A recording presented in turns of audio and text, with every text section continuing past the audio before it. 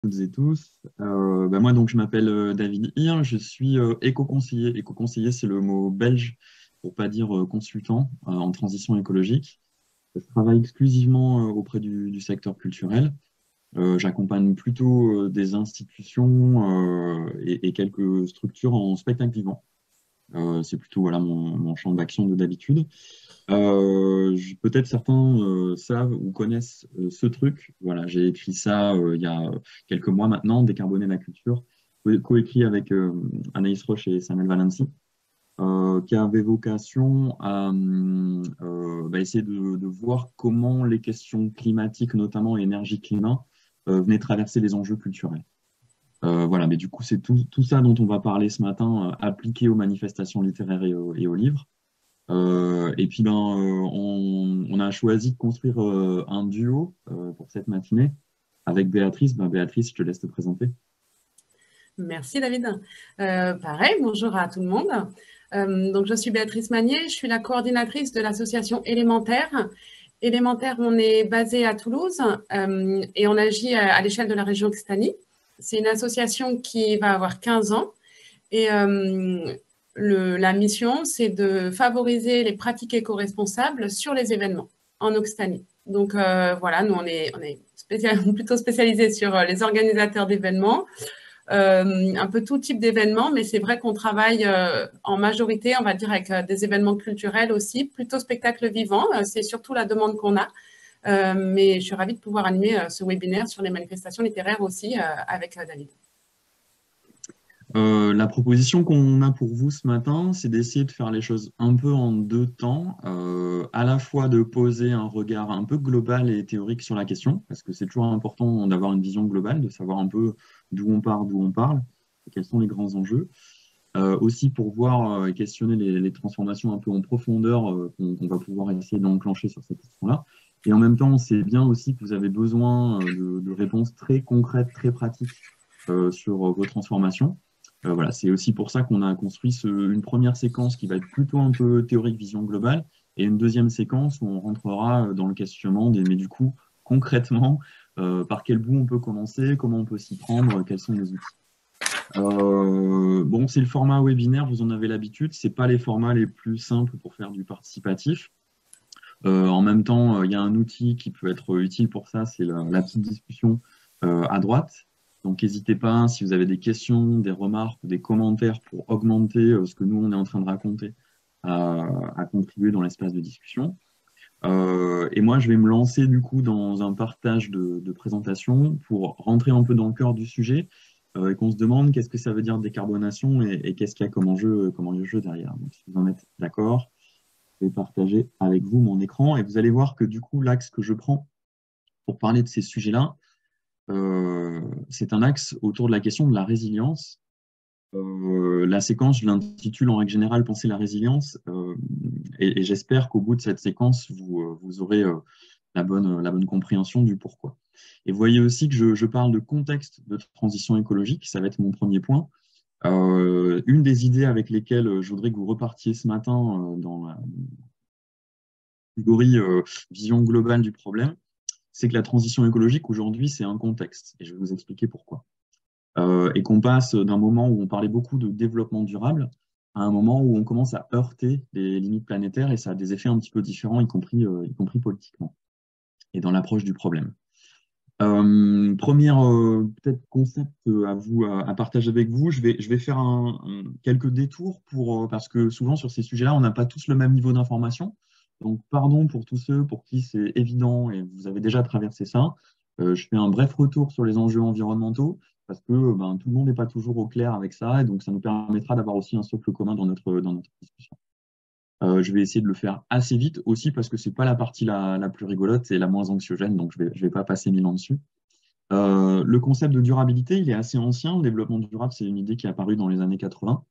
Et moi, euh, quand j'essaie de le, synthétiser, qu'est-ce que c'est le développement durable? J'aime bien utiliser cette, cette figure-là, qu'on appelle la figure du donut, parce qu'elle ressemble à un donut. Moi, je trouve aussi que ça ressemble vachement à la zone critique et à une planète. On peut le voir aussi comme ça. Euh, en tout cas, c'est une économiste qui avait construit cet outil-là, qui est donc l'idée d'un espace sûr et juste pour l'humanité, qui se situe à la fois dans le respect d'une forme de plancher social, un tas de critères à respecter pour que ça se passe bien, et, un plafond environnemental, des limites à pas dépasser pour, pour trouver cet espace sûr et juste pour que nous, humains, nous puissions, nous puissions évoluer.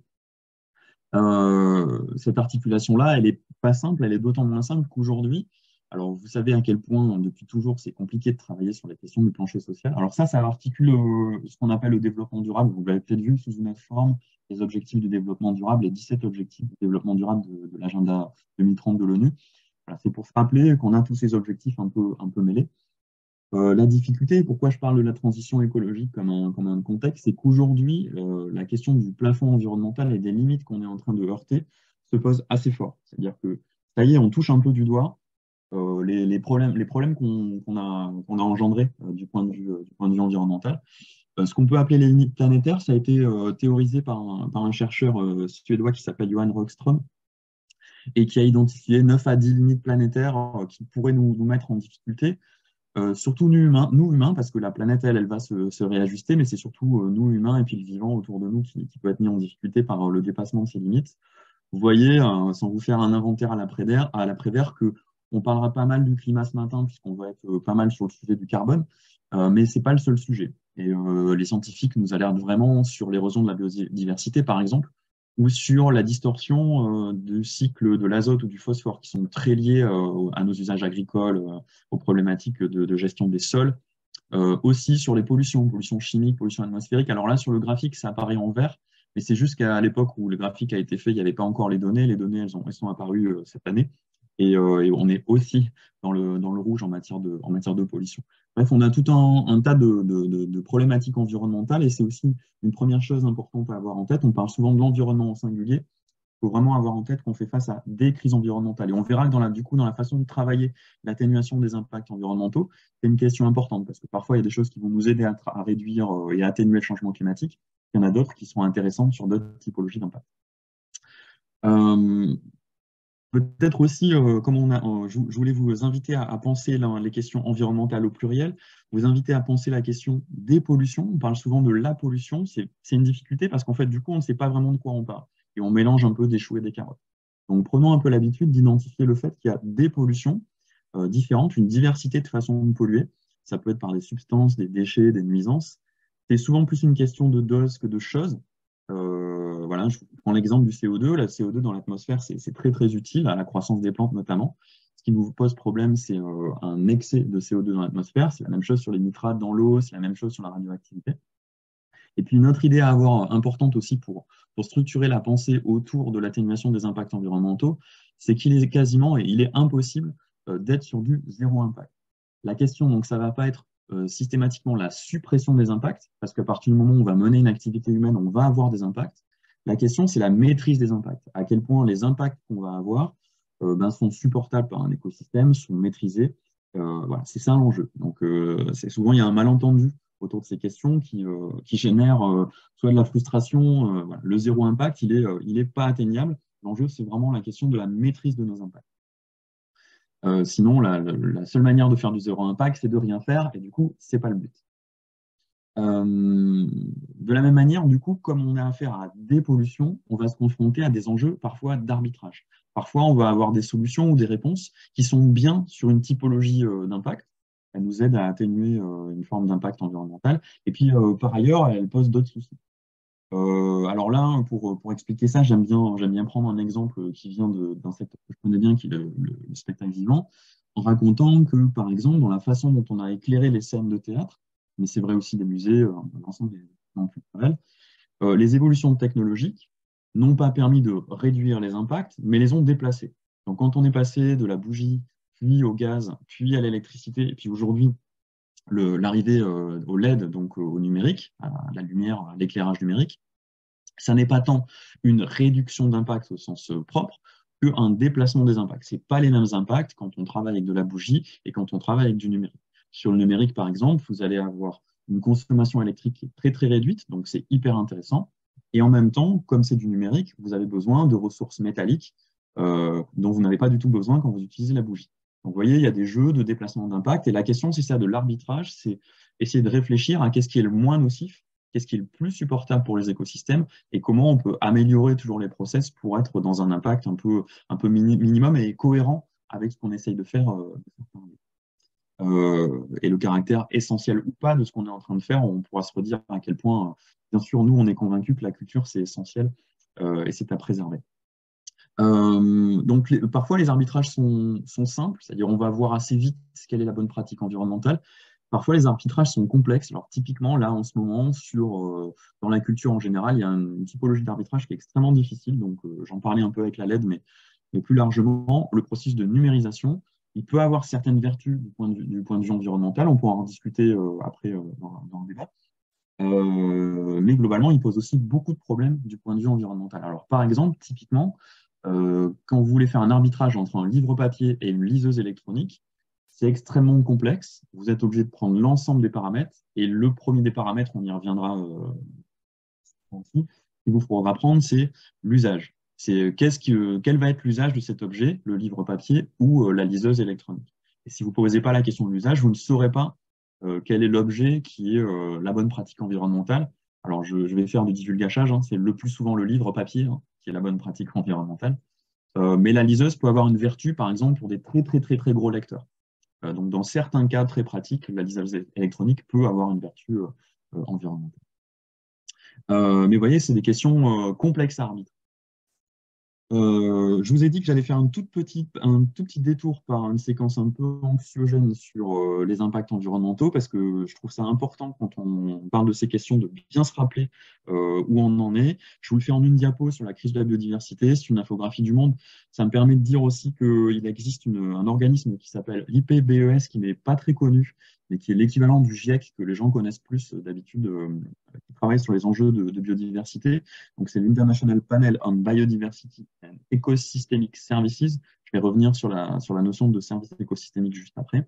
Et euh, c'est cette structure qui, à l'échelle mondiale, travaille sur les enjeux de, biodiversité pour essayer de nous alerter. Ce qui est intéressant dans cette diapo aussi, quand on travaille dans, la, dans le champ culturel, c'est de se dire qu'on a un problème de représentation dans cette crise de la biodiversité. Déjà, c'est une crise qui a lieu à bas bruit. Euh, voilà, on, entend, en entend assez peu parler quand même globalement. Et en plus, quand on entend parler, on entend parler plutôt autour des animaux totems, des grands animaux, ça va être l'éléphant, ça va être l'ours blanc sur la banquise. Et, euh, et, finalement, tout un ensemble du vivant qui disparaît, c'est un vivant qui est un peu invisible, pas très sexy, pas très funky. Et ça raconte aussi un problème de représentation. Euh, et là, on se le redira, les artistes, la culture, la littérature, ça a un rôle à jouer pour redonner toute sa place au vivant et c'est nous faire changer un peu de regard sur ces, sur ces questions-là. On a un vrai problème de regard sur, sur les, enjeux, les enjeux de, biodiversité.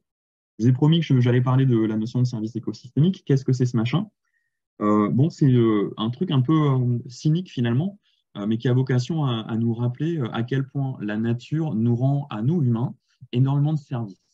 Donc même si on n'était pas très sensible euh, à, la question du vivant, et comme je vous disais à la diapo juste avant, je pense qu'on a vraiment besoin de gagner en sensibilité sur ces, sur ces questions-là et que la culture a un rôle à jouer, il faut se rappeler que de toute façon, la nature nous rend énormément de services et que si on les perd, ben, on se met nous en difficulté. Donc on, voit bien, vous voyez, il y a trois catégories dans, le service écosystémique, service d'approvisionnement, service de régulation et service culturel. Euh, ben, on a bien en tête que la nature nous permet de manger, de nous chauffer, euh, voilà, de nous vêtir. Euh, toutes les ressources qu'elle peut, nous, peut nous fournir. La plupart du temps, plutôt gratuitement, plutôt pas très très cher, parce qu'elle fait l'essentiel du boulot toute seule.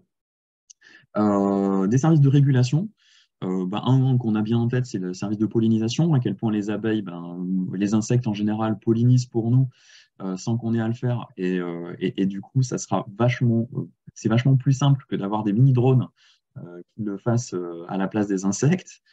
Euh, et puis des services de régulation aussi qu'on peut avoir bien en tête, bah, typiquement euh, une forêt et euh, une zone très végétalisée, donc sa capacité à absorber des crues ou à limiter des phénomènes de crues. Voilà, là, vous avez des exemples de, services rendus par la nature. encore une fois, plutôt, plutôt pas cher ou voire gratuitement, qu'on perd quand, on érode la biodiversité et le vivant. Et enfin, il y a une troisième catégorie de services écosystémiques qui nous est chère à nous, secteur culturel. Rappelons-nous à quel point, depuis toujours, la nature est une source d'inspiration, d'identité, un territoire d'éducation, quelque chose qui amène de la spiritualité, et puis un, espace de loisir. Donc, ça nous rend énormément de services culturels cette histoire-là. Donc, du coup, la, disparition ou la transformation des services écosystémiques autour de nous va avoir des effets très forts ben, sur nos identités, sur les émotions qu'on peut, peut en tirer, sur nos loisirs. Voilà, c'est un impact culturel très puissant. Je vous redirai juste après. toujours dans la séquence, c'est pas drôle, mais il faut quand même qu'on se le rappelle. Je voulais vous, vous, faire le point sur le dérèglement climatique en une diapo pour qu'on soit au clair avec cette question. Je pense que maintenant, c'est assez familier dans la, plupart des têtes parce qu'on commence à en parler de plus en plus euh, dans la presse. Euh, c'est identifié bah, sur le graphique de gauche que c'est lié aux émissions de gaz à effet de serre. je pense que maintenant vous le savez. Ce que vous euh, pouvez peut-être identifier et qui est intéressant sur la diapo de gauche, c'est que pour l'instant, bien que le développement durable soit apparu dans les années 80 et que les premières COP aient commencé dans les années 90, conférence des parties, pardon, où on parle des enjeux climatiques, les seuls moments où on a réduit nos émissions sont des moments de crise économique. Pour l'instant, en fait, ça veut dire que la transition n'a pas commencé. On n'a pas réussi à faire cette bascule et ce, début de transition. On est toujours euh, dans une situation de croissance de nos émissions. Ça explique euh, pourquoi, euh, c'est le graphique de droite, vous avez un réchauffement qui s'accélère hein, depuis les années, les années 80. On est déjà à 1,1 degré de réchauffement moyen, c'est confirmé par tous les, les centres d'observation. 1,1 degré de réchauffement moyen. Ce qui est intéressant de se dire, c'est que c'est une moyenne. Ça veut dire que vous avez des territoires qui se réchauffent plus et des territoires qui se réchauffent moins. Donc la France, on est déjà sur un réchauffement de 1,8 degrés, par exemple. Euh, les océans se réchauffent en principe un peu moins vite. Les pôles se réchauffent plus vite que les zones autour de l'équateur. Euh, vous avez aussi les saisons qui se réchauffent plus vite que d'autres. L'été se réchauffe plus euh, et varie plus. L'été et l'hiver sont les deux périodes qui varient plus par rapport au printemps et à l'automne. vous avez tout, tout, un tas de variations autour de cette moyenne d'1,1 degré. Donc ça explique aussi pourquoi, même avec cette petite moyenne, entre guillemets, on en voit déjà des effets très très puissants, parce que ça n'est qu'une moyenne, euh, et qu'on peut avoir des écarts, ben, notamment l'été, des écarts de 3, de 3 ou 3,5 degrés déjà par rapport à, des moyennes. Euh, ce qu'on peut aussi se dire en regardant ce graphique, c'est que c'est une expérience de l'esprit, mais si nous étions capables, euh, ça le GIEC nous le rappelle dans, le, dans, le, dans leur dernier rapport, si nous étions capables d'arrêter nos émissions de gaz à effet de serre instantanément et complètement, alors le, climat serait stabilisé immédiatement. La seule chose qui crée de l'inertie, c'est pas euh, le climat, c'est pas la, chimie du climat, c'est nous. C'est qu'il nous est impossible de transformer nos activités humaines d'un seul coup en claquant des doigts, donc d'arrêter d'émettre des gaz à effet de serre d'un seul coup. Euh, et c'est ça qui va générer une inertie. C'est ça qui fait qu'on est embarqué dans un réchauffement là dans les 10, 20, 30 prochaines années. Euh, parce que c'est trop difficile de changer toutes nos sociétés d'un seul coup. Mais si on était capable de tout arrêter nos émissions instantanément, alors on aurait une stabilisation immédiate du climat. Puis l'autre chose qu'il faut se dire et qui est moins drôle quand on regarde ce schéma-là, c'est que nous ne retrouverons plus le climat des années 80. Le climat des années 80, il est perdu. Euh, et euh, voilà, il faut faire un, peu un deuil. Ça ne va pas être possible de revenir en arrière, en tout cas pas sur un temps court. Peut-être qu'à un horizon 2100, 2150, on sera capable de le retrouver. mais nous, de notre vivant, on ne le reverra plus. Euh, il faut, euh, voilà, euh, c'est aussi quelque chose de, puissant à avoir en tête pour comprendre la force des changements dans lesquels on est, on est rentré. Vous avez prévenu que ce n'était pas forcément la séquence la plus drôle, mais en même temps, il faut qu'on puisse le, dire pour comprendre ben, ce qui va se passer autour de nous, les effets que ça peut avoir, y compris du point de vue culturel. Donc là, je vous ai pris trois, trois exemples assez rapides. L'ère de répartition du être en France, donc dans nos forêts, selon un scénario plutôt optimiste de l'Institut national de recherche agronomique et environnementale, donc vous voyez, la, légende, c'est euh, plus, euh, plus c'est rouge, plus il y en a, et, euh, avec une répartition en, bleu dans les, dans les zones, et quand c'est blanc, il n'y en a pas du tout. Vous voyez une, rétractation de la zone d'implantation du hêtre qui va essayer de s'enfuir en altitude un tout petit peu et vers le nord, parce que ben, tout un tas de zones dans l'ouest et dans le sud ne seront plus propices à, à son développement, trop chaud, trop, trop aride. Euh, ça veut dire que nos forêts françaises, elles vont profondément changer. Ça ne veut pas dire qu'il n'y aura plus d'arbres, hein, parce que si on est assez malin, on va pouvoir planter de nouvelles essences un peu plus adaptées. Euh, voilà, on va, on va essayer de trouver des solutions. Et ça veut dire que nos forêts vont être profondément transformées et les écosystèmes euh, de ces forêts vont être profondément transformés. Donc c'est ça aussi, c'est pas forcément quelque chose qui est complètement encore inscrit dans l'imaginaire. On a bien compris qu'on avait un problème, on n'a peut-être pas encore assez compris que le problème, il était là. On avait déjà trop tardé sur l'atténuation. Donc, on va avoir des effets concrets de transformation qu'il faut commencer à intégrer et peut-être, pourquoi pas, travailler, y compris du point de vue culturel euh, et artistique, euh, parce que ça va provoquer des choses puissantes dans nos sociétés, ces transformations. J'imagine bien que si le être se déplace, ça ne va pas être la seule chose qui va bouger et se déplacer autour de nous. ça va avoir des effets sur ce qu'on se racontait, hein, sur les services écosystémiques, y compris du coup en termes d'identité et, de paysage, de patrimoine naturel. Alors j'aime bien prendre l'exemple du ski parce qu'il est à la fois un peu drôle, anecdotique et en même temps puissant, quoi qu'il n'est pas drôle hein, pour les, territoires concernés. puisque ben, on parle depuis l'Occitanie, ça nous, concerne en plus assez directement. Donc, vous voyez que dans la dégradation des services écosystémiques, on va avoir, une, preuve euh, bah, dans les 30 années qui viennent, qui est euh, le cas du ski. La neige, c'est un service écosystémique. Le fait qu'il neige gratuitement, euh, c'est un service qui nous est rendu par la nature. Là, avec le réchauffement climatique et la ridification, on va avoir de moins en moins de neige. Alors, ça ne veut pas dire qu'il n'y aura plus de neige. Ça veut juste dire qu'il va plus y en avoir assez pour que ça soit économiquement rentable d'avoir une activité très forte autour du ski dans les Pyrénées. Dans les Alpes, euh, ça va être euh, un tout petit peu plus possible, un peu plus longtemps. Mais dans les Pyrénées, dès 2050, donc en fait, c'est assez proche, hein, 2050, on est plus proche de 2050 que de la chute du mur de Berlin, j'aime bien dire ça. Euh, bah, ça va être une transformation très profonde de ces terroirs et de ces territoires. C'est pas un choix, c'est pas quelque chose qu'on va pouvoir négocier, c'est quelque chose qu'il va falloir admettre parce que là, c'est évidemment une hypothèse où on essaye de mettre des canons à neige, on essaie de, résister un maximum. Mais euh, vous comprenez bien que du coup, mettre des canons à neige ou essayer de résister, bah, c'est coûteux et de toute façon, il faut de la ressource que nous de, de, travailler sur ce type d'adaptation et finalement la nature euh, et les, transformations des services écosystémiques vont nous contraindre à, abandonner cette activité. Donc là, ça pose la question bah, de l'anticipation de ces transformations-là, de leur acceptation aussi, à quel point on est capable d'avoir une discussion adulte et mature dans nos sociétés, sur nos territoires pour comprendre ça et puis l'anticiper, et puis euh, voir comment ça va transformer nos modèles économiques. Et là, moi, je fais partie de ceux qui pensent que le secteur culturel, les arts en particulier, un rôle très puissant à jouer sur ces territoires, territoires qui vont encore une fois être impactés sur le plan, économique, euh, et qui peuvent trouver sans doute un élan ou un ressort autour d'activités culturelles un peu différentes, euh, activités, activités loisirs et activités culturelles. Euh, voilà, mais ça, encore une fois, c'est pour structurer avec vous cette idée qu'on est dans un contexte de transition écologique. Il va y avoir des transformations puissantes autour de nous. Et ça, c'est pas quelque chose qu'on va pouvoir négocier. On va pouvoir négocier d'autres choses hein, entre nous, mais, euh, ah, mais avec la nature, ces, services-là, on, ne va pas vraiment pouvoir les négocier. On va devoir, euh, on va devoir nous adapter. et puis alors sur des, sur des impacts toujours à long terme, toujours dans les choses pas drôles, bah, nous dire que à plus long terme, là en l'occurrence sur la montée des eaux, on est sur des processus de plus long terme, c'est un peu la même chose, il faut qu'on anticipe des difficultés, surtout si on a du mal à réduire nos émissions et, euh, qu'on ne tient pas trop nos objectifs climatiques. Vous voyez qu'à gauche, sur un scénario à 2 degrés, à un horizon 2100, euh, vous avez par exemple toute une zone du littoral de chez nous en Occitanie euh, qui va être en zone submersible, euh, donc encore une fois, c'est un, scénario un peu, plus, à un peu plus long terme parce que la montée des eaux, ça prend plus de temps. Quelque chose qu'on va voir à 10, 20, 30 ans. On va commencer à 10, 20, 30 ans à avoir des effets, par exemple, de salinisation par les sous-sols, mais de submersion un peu moins. Mais ça, par contre, c'est un peu de l'ordre aussi de l'irréversible. C'est-à-dire qu'encore une fois, on, est embarqué dans cette histoire-là et on va devoir faire avec. Et si on fait vraiment mal le job, on va devoir faire puissamment avec pendant très longtemps. Là, vous voyez qu'il y a une différence, euh, il n'y a pas trop, trop, de différence en 2100 entre le scénario 2 degrés et le scénario 4 degrés.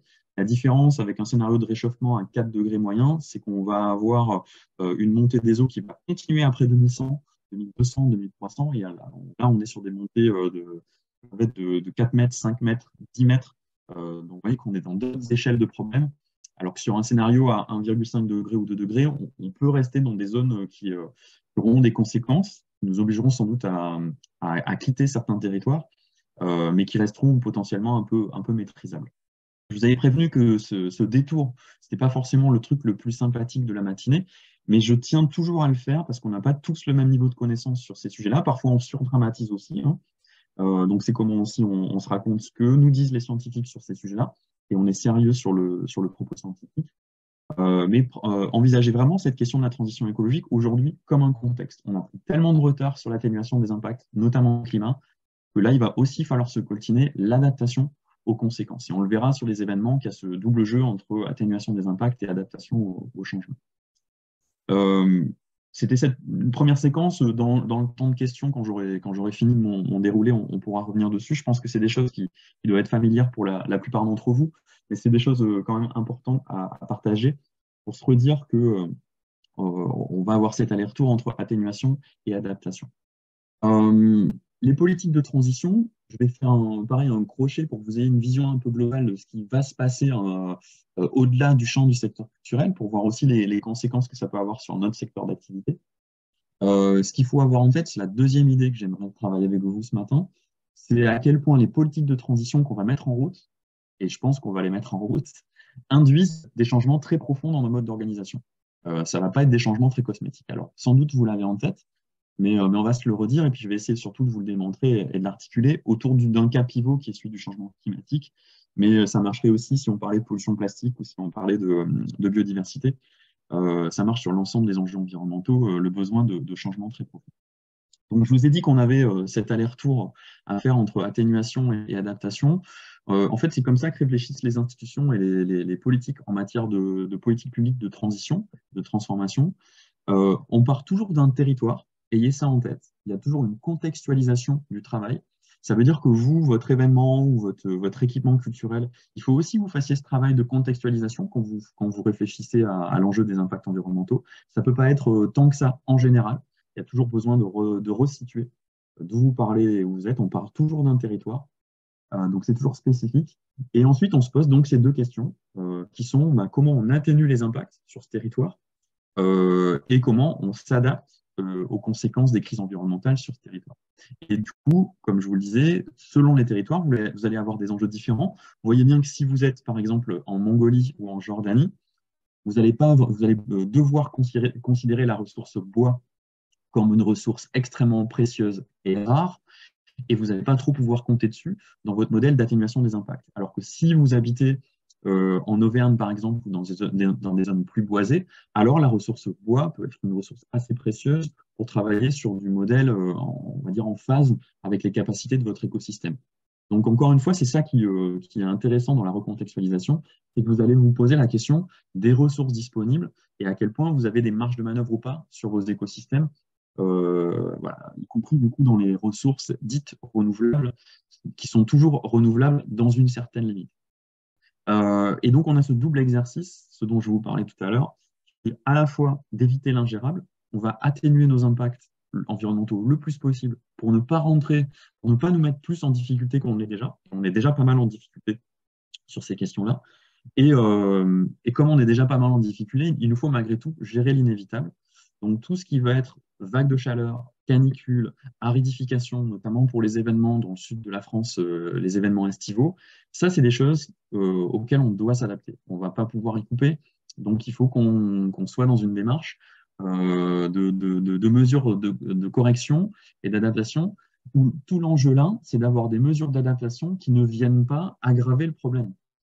C'est-à-dire de nous adapter euh, sans venir euh, renforcer et, contribuer euh, aux dégâts environnementaux. Je vous donne un exemple de maladaptation. quand on surclimatise pour répondre à de la chaleur ou à de la canicule, on est dans une tentative d'adaptation. On essaye du coup de trouver une solution à la chaleur, mais c'est ce que les scientifiques du GIEC et les scientifiques en général appellent la maladaptation. C'est une, une typologie d'adaptation qui renforce le problème. Euh, vous le savez sans doute, la climatisation, c'est de, puissants gaz à effet de serre, c'est de la consommation électrique, et ça ne vient pas du tout nous aider à atténuer, euh, à atténuer nos impacts. Donc, ce qu'on cherche à faire, c'est euh, trouver des adaptations et des, typologies d'adaptation qui ne soient pas de la maladaptation, mais qui soient adaptées aux enjeux d'atténuation. Vous voyez cette complémentarité entre les deux, phases du, problème. je voulais revenir sur les grandes trajectoires de décarbonation puisque c'était le sujet du, jour, la décarbonation. Qu'est-ce que ça veut dire concrètement? Euh, je, voulais l'illustrer avec ce schéma qui reprend à la fois ce qu'on est en train de faire, les promesses de la dernière COP, en l'occurrence euh, les promesses de la COP 27, parce qu'elles n'ont pas trop bougé par rapport à la COP 26, et puis l'accord de Paris, c'est la COP 21, que vous avez tout en bas. et avec les conséquences en termes de réchauffement moyen sur la planète. Donc, ce qu'on est en train de faire là, en termes de politique en cours, euh, et les trajectoires euh, qu'on a, ça nous, embarque sur un réchauffement dont les scientifiques nous disent qu'il se situe quelque part entre 2,5 et 2,9 degrés de réchauffement moyen. Donc avec des conséquences, vous vous en doutez, euh, assez catastrophiques sur l'ensemble des écosystèmes, à la fois à court terme et à moyen terme. Les promesses et les engagements des pays qui ont été structurés autour des COP y compris du coup la COP27, donc à, condition qu'elle soit respectée bien sûr, nous emmène quant à elle plutôt sur une typologie de réchauffement autour de 1,8-2,1 degrés. Donc on est à la limite du seuil que fixait l'accord de Paris, puisque la formulation de l'accord de Paris, c'était un objectif de rester bien en deçà de 2 degrés de réchauffement moyen, idéalement 1,5 degré, c'est ce que vous avez comme objectif euh, tout en bas. Euh, et vous voyez que pour tenir les trajectoires les plus vertueuses en termes de, en termes de réchauffement moyen, c'est-à-dire pour essayer de rester à 1,5 degré, ça, nous, va nous demander, ça nous demande un effort euh, de, transformation de notre trajectoire d'émissions de gaz à effet de serre très, très, très puissant et qui est très souvent sous-estimé par les citoyens et les citoyennes. Là, j'ai fait récemment une étude sur, euh, des professionnels intermittents dans le spectacle et j'avais plus de la moitié de mon panel euh, étudié qui était pourtant sensibilisé aux enjeux environnementaux, qui sous-estimait l'effort à faire en termes de réduction. Euh, la plupart du panel pensait que ça suffisait de diviser par deux à peu près nos émissions de gaz à effet de serre. Non, pas du tout. si on veut rester sur un réchauffement de 1,5 degré, euh, il nous faut baisser de plus de 80% nos émissions d'ici 2050, idéalement les baisser de moitié d'ici 2030-2035 et arriver à une forme de neutralité carbone planétaire euh, au, plus tard en, 2060. Neutralité carbone, ça veut juste dire qu'on n'émet pas plus de CO2 que la nature n'est capable d'en absorber. On pourrait revenir sur ce concept-là si ce n'est si pas clair. Et d'une manière générale, si tout ce que je raconte assez vite, parce que L'idée, c'est d'assez vite rentrer dans le sujet euh, euh, qui nous préoccupe ce matin des manifestations littéraires. Euh, si je vais trop vite, bah, n'hésitez pas à revenir vers moi avec, avec des questions. donc, vous voyez qu'en fait, si on veut tenir des trajectoires de décarbonation qui sont cohérentes avec ce qu'il faut faire pour ne pas se mettre en difficulté, donc rester bien en deçà de 2 degrés, donc tenir l'objectif accord de Paris, ce sont des trajectoires de transformation drastiques, avec des baisses d'émissions qui sont drastiques. Ça se traduit euh, très bien dans euh, les politiques et les stratégies théoriques que mettre en place nos États quand ils pensent à ces questions. Il ne se passe pas rien sur ces questions. Parfois, on, a un peu cet imaginaire que, que, ça ne bouge pas du tout. Alors, ça ne bouge pas du tout assez vite, mais ça bouge un peu. Euh, et on a, par exemple, pour ce qui concerne l'État français, une stratégie nationale bas carbone qui est en train d'être révisée là, et, et, qui essaie de raconter, c'est euh, lié au fait qu'on a signé l'accord de Paris. Hein. Tout ce genre d'outils, euh, c'est rendu obligatoire par la signature euh, et par le fait qu'on a signé l'accord de Paris sur le climat. ça nous inscrit du coup dans une trajectoire de réduction et vous voyez ce que l'État français se raconte à lui-même, c'est que petit à petit, au fil des années, euh, eh ben, il va essayer de réduire ses émissions, ses émissions, ses émissions, pour atteindre une forme de neutralité carbone en 2050, où on continuerait d'émettre à peu près euh, sur le territoire français 80 millions de tonnes de CO2, et ça serait absorbé euh, par nos forêts, nos zones humides, qu'on aurait de mieux en mieux préservées, et, voilà, du coup, ça leur, permettrait d'absorber un petit peu plus de carbone. Euh, donc une trajectoire de réduction progressive, c'est comme si on avait finalement un budget d'émissions euh, maximum et qu'il fallait euh, bah, l'utiliser avec parcimonie et être capable de, de, plus en plus de réduire la quantité, quantité qu'on utilisait. Ça, c'est l'ancienne stratégie nationale bas carbone. Donc on avait un objectif qu'on n'a pas réussi à tenir hein, et sur lequel on est en retard. Mais qui était d'atteindre moins 40% de gaz à effet de serre d'ici 90 en 2030. C'était ça l'objectif. Vous voyez, vous l'avez au milieu de la diapo. Il se trouve qu'avec l'Union européenne et, les récentes discussions euh, autour des enjeux climat, cet objectif, il a grandi. Aujourd'hui, on est à moins 55% d'objectifs en 2030. Donc, vous voyez, la, droite, euh, ça ressemble beaucoup plus à une piste noire euh, en termes de ski. Hein. donc, c'est vraiment quelque chose qui commence à être, à être répandu. Et, la discussion là en ce moment autour du gouvernement avec le, le plan d'Elisabeth Borne, ça serait d'essayer d'être à moins 57% d'émissions de gaz à effet de serre en 2030 euh, par rapport toujours au référentiel qui est celui des années 90, de 1990. Donc une trajectoire drastique. Donc il faut imaginer que ça va avoir des conséquences, si on suit cette trajectoire, très très puissantes sur la société autour de nous. Ça ne peut pas être euh, sans, sans, très très grandes conséquences dans la façon dont la société est organisée autour de nous. C'est pour ça euh, que je commence à amener cette idée de la question de la résilience de nos activités culturelles. Euh, comment ça se traduit euh, en termes de grands secteurs d'activité? Alors, vous n'allez pas voir apparaître la culture ici, parce que la culture, on se le redira, c'est plutôt un petit secteur. Euh, donc là, vous avez que les grands secteurs et vous voyez que sur l'ensemble de ces grands secteurs, le déchet, l'énergie, l'industrie, l'agriculture, le bâtiment, le transport, eh on a une stratégie nationale bas carbone de l'État français qui va essayer de euh, vraiment réduire l'ensemble de ces postes. Et vous voyez que par exemple sur le transport, l'objectif que se donne l'État français, c'est d'être à zéro émission de gaz à effet de serre en 2050. Donc, on n'a plus aucune marge d'émission sur le transport en 2050. Les marges d'émission qu'on se conserve en 2050, c'est un peu d'agriculture, un peu d'industrie. Euh, voilà, grosso modo, c'est à peu près tout. Et sur le transport, euh, notre objectif, c'est de tomber à zéro. Donc, ça explique aussi pourquoi, euh, comme on n'a pas 1000 technologies disponibles pour y arriver, vous avez une tentative d'aller vers l'électrification des véhicules à partir de 2035. Pourquoi l'Union européenne, a fixé une date à 2035 pour électrifier les véhicules? Euh, bah, Parce qu'ils se sont dit, si en 2035, on a un parc euh, qui commence à devenir électrique, en 2050, on n'aura plus aucune voiture thermique, elles sont devenues vieilles, elles auront disparu du parc, et on aura un parc euh, de véhicules 100% électrifiés. Je ne suis pas en train de faire la promotion de la voiture électrique, hein, je vous raconte juste là la, stratégie institutionnelle et comment les choses sont pensées. pour qu'on ait cette idée en tête, euh, les politiques, qui étaient celles que je vous ai amenées euh, dans, la séquence, les politiques de transition, ce sont des politiques qui vont amener des transformations extrêmement profondes si on veut les réussir. Euh. On est aujourd'hui tellement dépendant des énergies fossiles, c'est tellement quelque chose auquel on est drogué, qu'en sortir, ça, ça, va nécessiter des transformations très, très, très, très profondes. Euh, et la culture là-dedans, la culture, elle est consommatrice, euh, notamment, on va se le redire euh, ensuite, alors bien sûr de, bâtiments, il y a des équipements culturels, mais aussi beaucoup de transport. on a énormément besoin du, transport pour faire circuler nos œuvres, des livres, faire venir des gens sur nos salons ou dans nos librairies. donc voilà, ça c'est quelque chose dont on est un peu directement dépendant. Euh, et puis bien sûr, euh, la culture, c'est souvent l'occasion, comme c'est des temps de convivialité aussi, de euh, s'articuler autour d'un modèle agricole. Qu'est-ce qu'on donne à manger à des artistes, à des publics? Ça raconte quelque chose du, modèle agricole dans lequel qu'on défend. Et donc lui aussi va, beaucoup bouger, autour de nous. vous voyez que c'est souvent on a cette idée que l'écologie, ça serait presque un luxe qu'on peut s'octroyer quand on en a les moyens.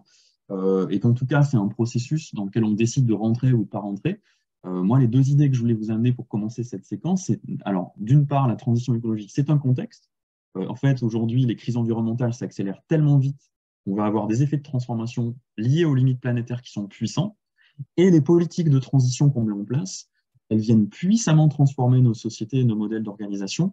Donc, elles vont avoir des effets assez forts sur, sur tout le système d'organisation autour de nous. La question, c'est comment le secteur culturel ben, anticipe ça, traverse ça, pour pas être mis en difficulté comme il l'a été lors de la crise sanitaire, pour vous le faire, euh, pour vous le faire vite.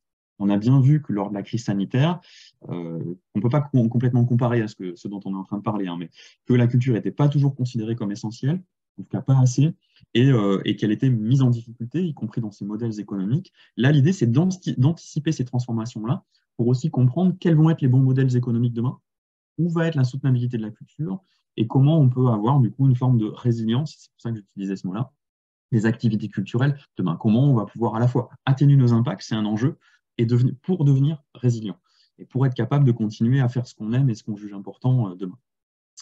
Euh, faire pivoter notre modèle socio-économique vers la sobriété, c'est ça qui va se passer. Euh, c'était quelque chose que j'avais du mal, une idée que j'avais du mal à faire passer il y a trois ans ou quatre ans quand je faisais des conférences mais qui aujourd'hui passe beaucoup plus facilement parce que c'est vraiment qui est devenu euh, voilà, dans, dans, le langage un, peu plus commun dans les discussions euh, euh, de nos sociétés. Mais ça apparaissait déjà de toute façon de façon un peu souterraine avant que le président lui-même s'en empare.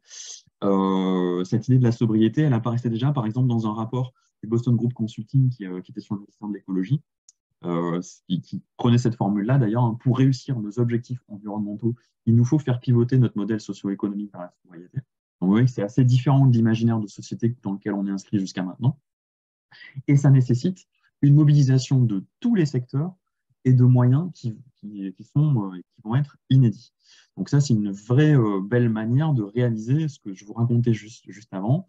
Tout le monde va être embarqué dans cette transition euh, et, ça va nécessiter euh, un engagement et des moyens assez, euh, assez inédits pour, pour y parvenir. Et là-dessus, moi, je, réinsisterai après sur la place spécifique que peut avoir la culture dans ce, dans ce moment-là, dans ce contexte-là. La dernière note de l'Agence européenne de l'environnement qui est parue en octobre 2021, elle me semble raconter vers quoi on va aller aussi dans le secteur culturel. Ce qu'il nous dit, c'est qu'une réduction de la pression et des impacts sur l'environnement exigerait des transformations fondamentales afin d'aller vers un différent type d'économie et de société, au lieu de chercher des gains progressifs d'efficience dans le fonctionnement des systèmes de production et de consommation actuels. On va devoir profondément se transformer, et donc, y compris nous, en tant que secteur culturel, dans nos manières de développer nos projets, dans nos manières de développer de la culture. Et on va pouvoir discuter ensemble de quels peuvent être les, les chemins pour le faire, à la fois théorique et, et pratico-pratique. Euh, peut-être qu'il y a une question intéressante dans laquelle on peut, on peut du coup maintenant d'ores et déjà rentrer, une fois qu'on a fait ce, détour vers le, contexte. Mais en fait, c'est quoi les impacts du secteur culturel? Alors là, comme on était sur euh, l'entrée manifestation littéraire, j'ai choisi de, faire plutôt un focus à la fois sur le secteur du livre euh, et sur la partie événement culturel. L'événement culturel ayant souvent des typologies d'impact un petit peu différents, euh, par rapport à un équipement culturel à, l'année, par exemple. Donc voilà, j'ai fait un focus sur la, logique événementielle euh, pour essayer de vous euh, faire prendre conscience des ordres de grandeur et des, grands enjeux qu'il y a derrière. Avec cette idée, alors dans cette séquence-là, que ça soit aussi un moment où on puisse peut-être un peu se déculpabiliser, c'est-à-dire sortir d'une culpabilité que je, crois ou je pense certains peuvent ressentir, du fait de leurs activités, dont ils sentent bien qu'elles génèrent des impacts environnementaux. Euh, donc moi, ce que j'aimerais au sorti de cette séquence, c'est de vous tranquilliser un peu et qu'on rentre vraiment en responsabilité, c'est-à-dire qu'on les travaille très fort et qu'on atténue très fort nos impacts, mais sans que ça nous, voilà, sans, que ça nous fasse culpabiliser. Et je vais vous expliquer pourquoi euh, je trouve ça inutile de culpabiliser, euh, tout en jugeant extrêmement utile de nous engager très très fort et très très vite dans la transition écologique de notre secteur. toujours une question de, résilience. Euh, pour ça, j'ai besoin de vous donner deux outils euh, qui sont l'analyse de cycle de vie et le bilan carbone. Euh, si vous n'avez pas pris de café ou de thé, c'est peut-être le moment de, boire une gorgée. C'est la partie un peu technique de la présentation et ça va être hyper utile pour ce qu'on va se raconter après dans les choix concrets que vous allez faire pour transformer vos événements et vos pratiques professionnelles, pour les rendre plus soutenables. Le premier outil, alors à la fois il est technique, mais il n'est pas non plus si compliqué que ça à comprendre, ça s'appelle l'analyse de cycle de vie. Euh, comment, enfin, qu'est-ce que qu'est-ce que ça veut dire ce machin? Donc c'est c'est l'outil, c'est vraiment celui sur lequel on va s'appuyer pour essayer de comprendre les impacts environnementaux d'un objet ou d'un projet. C'est le seul outil qui nous permet vraiment d'avoir une vision globale des impacts environnementaux de quelque chose. Encore une fois, que ce soit un projet, euh, immatériel, euh, ou un objet. Très concret. Euh, qu'est-ce que ça veut dire en, clair? Ça veut dire que pour avoir une vision globale des impacts environnementaux de quelque chose, il faut à tout prix regarder l'ensemble de son cycle de vie, depuis la manière dont il est pensé, conçu, en, passant par du coup les matières euh, qui sont nécessaires à sa conception euh, et à sa production et à sa fabrication, puis la façon dont il est transporté, distribué, puis surtout, très important, la façon dont il est utilisé. Je, je vous en parlais tout à l'heure quand on parlait de la liseuse. Euh, électronique, et puis ce qui se passe à la fin de vie. Euh, et, donc, par exemple, quand vous allez vouloir comparer un livre papier et une liseuse électronique, si vous ne comparez pas en analyse de cycle de vie, ça n'aura aucun sens, parce que vous allez comparer des choux et des carottes. Donc, si vous voulez comparer une liseuse électronique et un livre, bah, vous, vous réinscrivez ça dans l'ensemble d'un cycle de vie et vous regardez ce qui se passe sur l'ensemble du cycle de vie. Évidemment qu'une liseuse électronique, ça va demander beaucoup plus de matière euh, pour être fabriquée. Donc vous allez avoir un impact environnemental à la production euh, en extraction de matières premières beaucoup plus fort euh, pour une liseuse euh, numérique, avec des impacts environnementaux aussi assez différents d'un livre, puisque c'est beaucoup plus de métaux, des métaux rares, parfois souvent difficiles à extraire, donc très coûteux du point de vue environnemental. Donc toute la partie extraction, fabrication de la liseuse va être génératrice de beaucoup plus d'impact. Et c'est seulement en deuxième partie que la liseuse va pouvoir essayer de récupérer un petit peu les impacts environnementaux perdus euh, dans la phase amont. Parce que dans la phase de transport et d'utilisation, là, elle va être euh, plus pertinente que le livre papier du point de vue environnemental. Hein. Je ne suis pas en train de faire l'éloge de la liseuse ou quoi, là je vous parle juste du point de vue environnemental et je vous fais juste un comparatif environnemental entre les deux. Euh, à l'endroit du transport, bah, une fois que vous avez une liseuse, vous avez juste un flux de données qui circule pour avoir un livre, et c'est beaucoup moins impactant que d'envoyer un livre papier euh, et de le transporter euh, avec le fret qui va avec. Vous avez déjà une économie d'impact à ce moment-là. Et puis du coup, ça veut dire que à l'usage, si vous comparez une liseuse et un livre, alors le livre est nettement plus avantageux du point de vue environnemental. Il n'y a pas photo. Mais quand vous comparez, quand vous commencez à comparer une liseuse sur laquelle il y a 200 livres et 200 livres, alors là, il commence à y avoir match. Euh, parce que du coup, euh, bah, la liseuse vous a permis de stocker très facilement sur le même objet une quantité plus grande de données et vous avez récupéré bah, l'impact environnemental initial. C'est pour ça que moi, j'ai tendance à dire, je ne suis pas du tout un fan de la liseuse. je suis fan du livre à l'ancienne de toute l'odeur qu'il y a avec et, du plaisir qu'il y a le, le bousculer, voire le mettre sous l'eau. Euh, mais pour des très très gros lecteurs, c'est ce que je vous disais au début, ça peut avoir une pertinence environnementale que d'avoir une liseuse. Si vous êtes sur 500, 600 ou 700 livres, clairement, votre impact environnemental, il va être moins fort que si vous avez acheté 500, 600, 700 livres. Vous voyez, tout ça, euh, c'est pour vous raconter la difficulté qu'il peut y avoir dans, la réflexion autour de l'impact environnemental ou la soutenabilité de quelque chose. Pour moi, globalement, ce que je raconte quand même dans mon analyse d'impact, c'est que ce qui sera à, terme le plus soutenable, c'est quand même a priori plutôt le livre papier, avec un papier bien produit euh, de façon un peu responsable, de façon soutenable, et distribué de façon soutenable. Pour moi, c'est ça qui me paraît le plus, le plus soutenable. Et vous voyez que ça, ça permet en fait de venir nourrir et objectiver un peu la réflexion. On a beaucoup, beaucoup d'informations de très mauvaise qualité sur les, sur les enjeux environnementaux et sur les impacts environnementaux, euh, souvent dans des discussions très polarisées. Quand vous voulez objectiver les choses, l'outil dont vous allez vous servir, c'est l'analyse de cycle de vie. Ça, c'est l'outil le plus précieux. Et euh, pour, parler de quelque chose dont vous reparlera euh, sans doute euh, Béatrice tout à l'heure, on peut prendre l'exemple des gobelets. Des gobelets sur un événement, donc ça, je pense que c'est quelque chose qui va vous parler très directement. Quand vous voulez, si vous voulez savoir quelle est la bonne pratique environnementale, bah, il va falloir comparer en analyse de cycle de vie des choses du coup différentes. Là, en l'occurrence, je vous ai pris un exemple où on comparait euh, l'usage de gobelets dans, l'événementiel entre euh, plastique réutilisable en polypropylène, euh, plastique en acide polylactique et gobelets carton. Et vous voyez que ce que raconte l'analyse de cycle vie, donc là, en l'occurrence, j'ai uniquement quatre critères environnementaux. dans l'absolu, il y en a 13 ou 14, hein, mais là, je ne vous les avais pas tous mis. Je vous ai mis les, principaux, consommation d'énergie, impact sur le climat, donc gaz à effet de serre, la toxicité sur l'eau, et puis la consommation d'eau. Et vous voyez que euh, ben, dans ce schéma-là, je ne sais pas si vous le comprenez très bien, mais je vous le commenter très vite, euh, c'est le gobelet réutilisable euh, qui va être le meilleur sur l'ensemble des impacts, sauf consommation d'eau. Pourquoi? Bah, Parce qu'il faut le relaver. Donc vous avez effectivement une consommation d'eau un tout petit peu supérieure due au, fait qu'on les relave. et donc, dans l'arbitrage qu'on va faire, nous, du point de vue de l'analyse environnementale, on va dire bah, la bonne pratique, euh, entre carton jetable et réutilisable. C'est le réutilisable en polypropylène euh, du point de vue environnemental. En l'état, c'est ce qui semble le mieux euh, et le plus intéressant par rapport à d'autres pratiques. Vous voyez, c'est l'analyse de cycle de vie qui vient nous le dire. Et on fait un arbitrage. Hein. On assume que sur la partie consommation d'eau, c'est un peu moins bon. mais comme c'est vraiment meilleur sur les autres typologies d'impact, ben on se dit, voilà, c'est ça qu'il faut qu'on fasse. c'est la, meilleure des, la meilleure des approches. Euh, et vous voyez, ça nous permet aussi d'écarter euh, les, plus mauvaises pratiques, du style euh, des gobelets en, PLA. ça ne nous dit pas forcément s'il n'y a pas de meilleures pratiques encore qui se cachent derrière ça.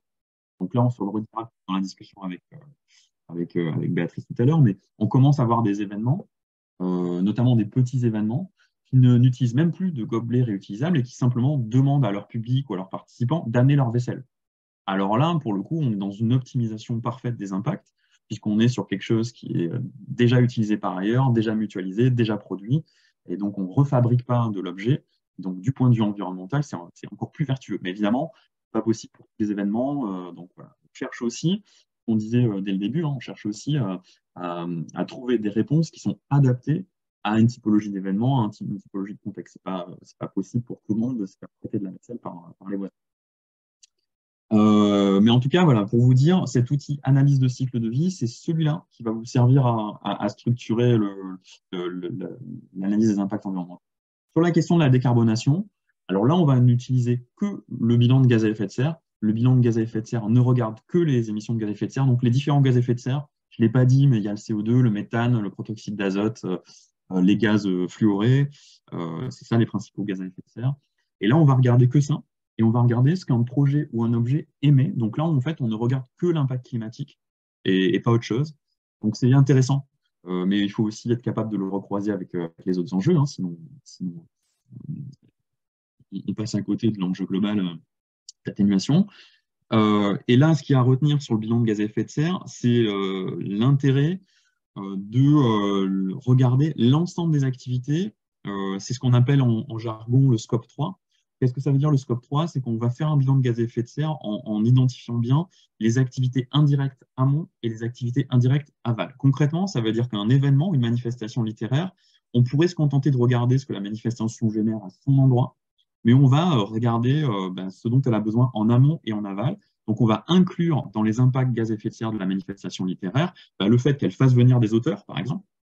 Donc, ça sera totalement inclus dans son analyse d'impact et puis euh, le fait qu'il y ait des publics, des spectateurs par exemple, qui viennent Ça paraît bête à dire, mais pour l'instant, dans les gaz à effet de serre, dans le bilan de gaz à effet de serre, en analyse légale, euh, législative, il y a des, pour ceux qui ont des bilans de gaz à effet de serre obligatoires à faire, c'est les entreprises de plus de 500 salariés, je crois, c'est uniquement une analyse en scope 1 et 2 qu'on leur demande. Donc on leur demande vraiment juste uniquement de se regarder un peu le nombril ça n'a aucun intérêt. Euh, l'intérêt, c'est vraiment de regarder, de faire des analyses de, bilan de gaz à effet de serre sur l'ensemble de l'activité, y compris les émissions indirectes. Et c'est ça qui va aussi nous donner du coup une vision euh, de la dépendance de l'événement ou du projet aux énergies fossiles. Finalement, assez indirectement, le bilan de gaz à effet de serre, il va vous raconter à quel point vous êtes dépendant d'énergie dont on voit devoir assez vite se passer si on veut réussir la transition. Donc c'est un indicateur de, de fragilité aussi, un bilan de gaz à effet de serre. Euh, j'ai choisi de vous en présenter assez vite euh, deux qui vous concernent plus. C'est euh, le, donc je les tire du rapport des corbeaux non la culture du chiffre project que peut-être vous connaissez. Si vous ne connaissez pas, je vous invite à aller voir la partie qui le, le livre. Donc là, vous avez un, un, bilan carbone qui est le bilan carbone du groupe Hachette en 2015.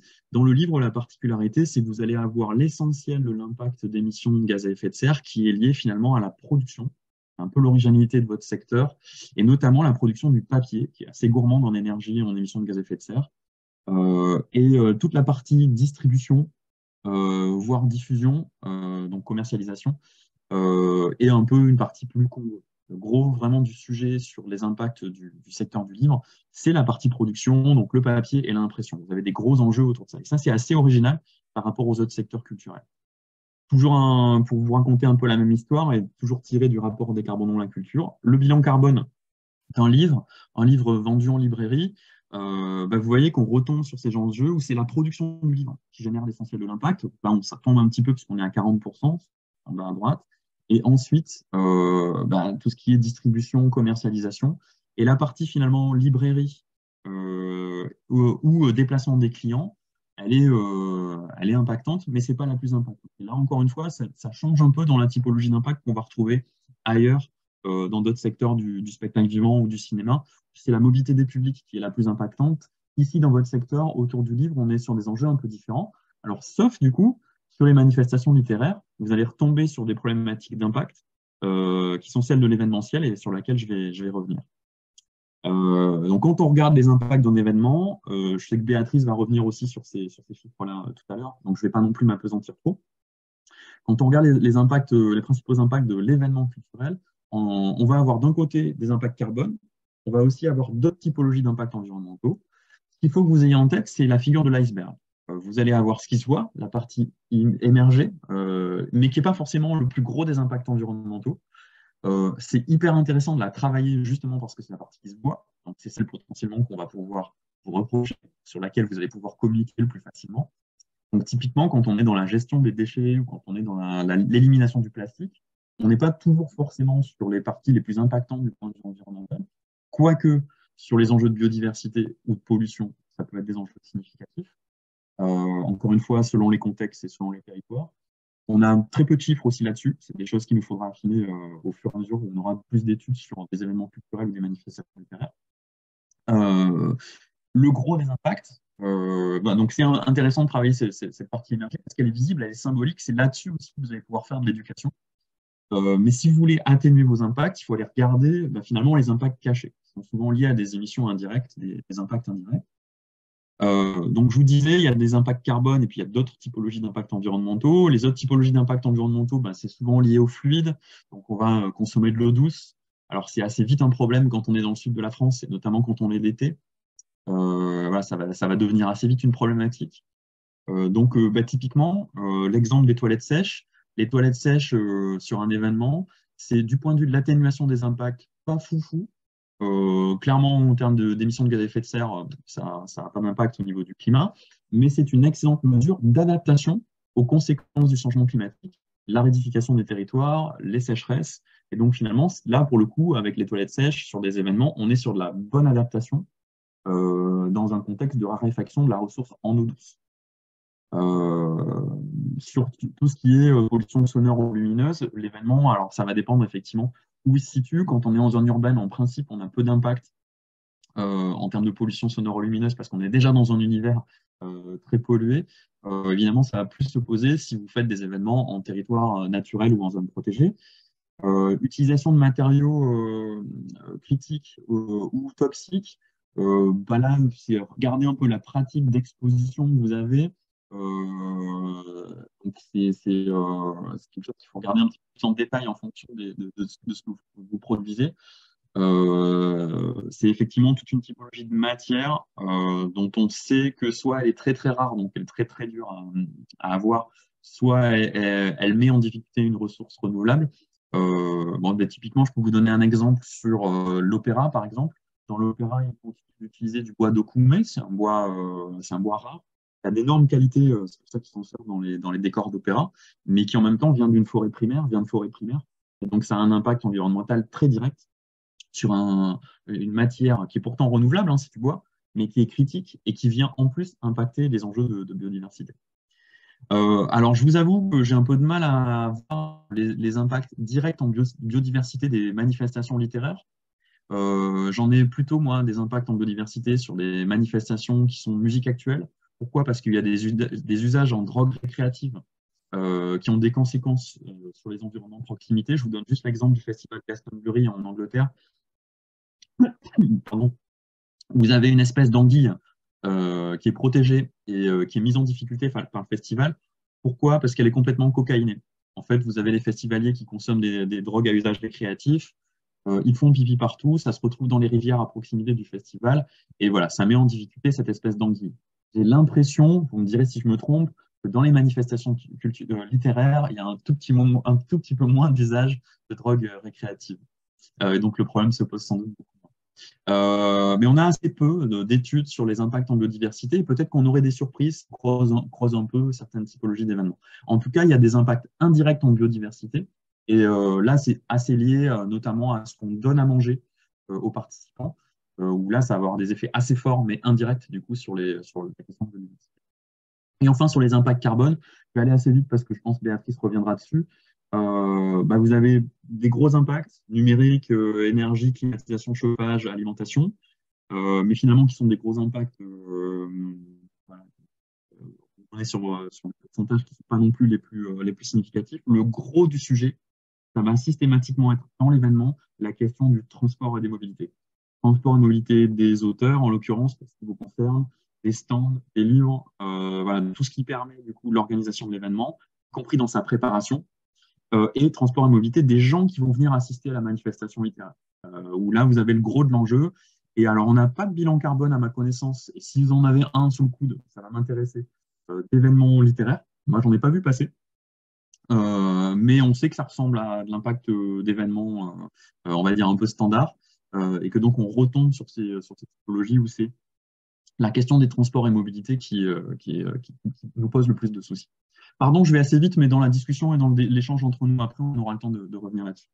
Euh, pour vous dire toujours très vite aussi des enjeux spécifiques qu'il y a à votre filière, ce qu'on constate et ce que les copains du Shift Project ont constaté par rapport à, la filière du livre, c'est des, enjeux spécifiques autour de la diffusion.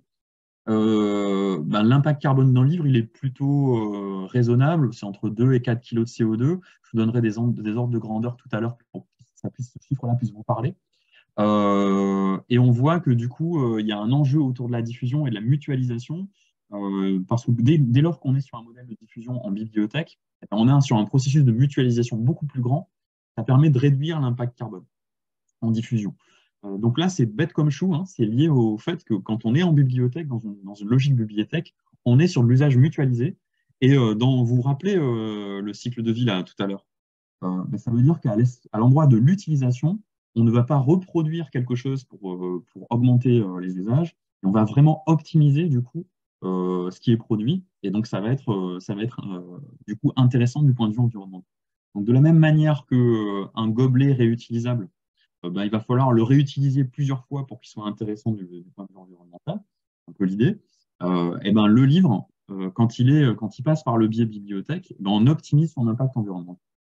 donc, c'est intéressant de voir que, par exemple, il peut y avoir un facteur de réduction d'un facteur 4 rien que sur une logique de diffusion un peu différente. Et encore une fois, qu'un livre euh, y soit lu en librairie, euh, acheté en librairie euh, ou lu après avoir été emprunté en bibliothèque, l'intérêt culturel est le même. L'usage culturel, au final, le livre est lu, donc ça, pas, ça ne transforme pas l'intérêt culturel de la démarche. Par contre, ça atténue l'impact.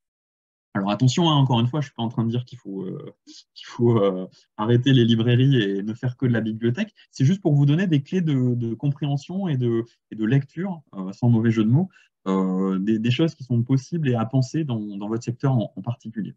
Donc là, vous avez un endroit de levier. C'est vrai que quand on partage un livre, on, réduit de façon très forte son impact environnemental. On voit bien que ça vient questionner le modèle économique. ça nous oblige à faire bouger le modèle économique quelque part. Sinon, ça ne marche pas.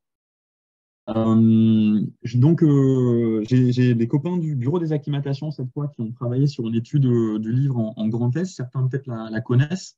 donc, ils ont analysé que toute la filière du livre en région Grand Est pesait à peu près 95 000 tonnes de CO2 par an. Encore une fois, pour l'instant, ça ne vous dit rien. Je vais vous donner un ordre des ordres de grandeur comparatifs tout à l'heure. qui correspondait à à peu près 50 millions d'ouvrages expédiés vers la région Grand Est, avec un taux de retour d'un livre sur 5 à peu près. Et euh, l'essentiel de l'impact, euh, ben, c'était euh, ce qu'on s'était dit, hein, les points de vente. C'était là que se situait le gros des impacts, des impacts carbone.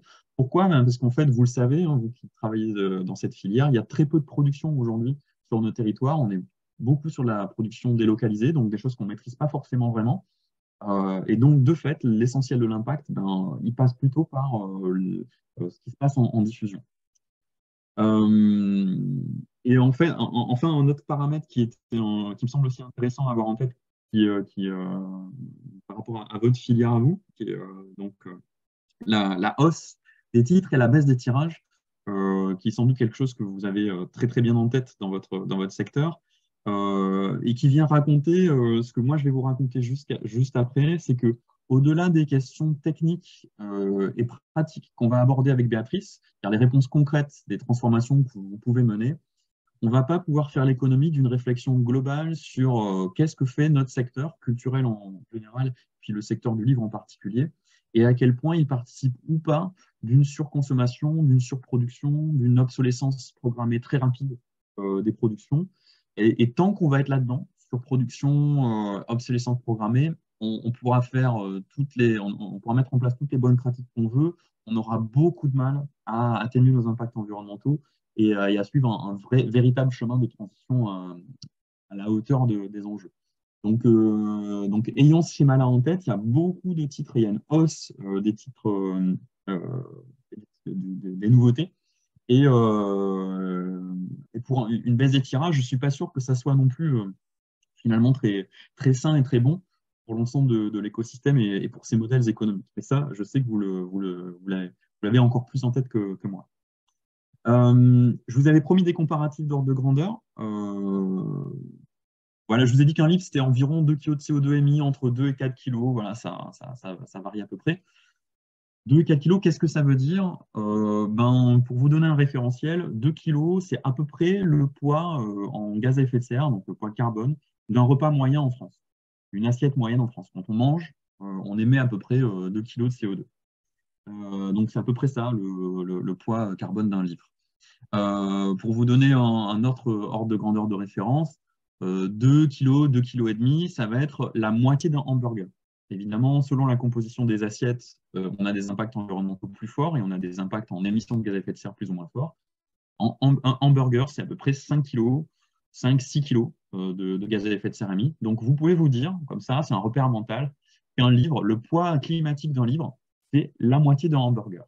Donc peut-être que ça amène aussi la question du à, quel point on a plus envie de hamburger que de livres.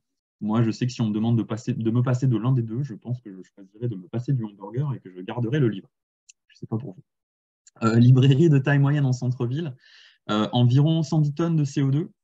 110 euh, tonnes de CO2 donc, sur une année.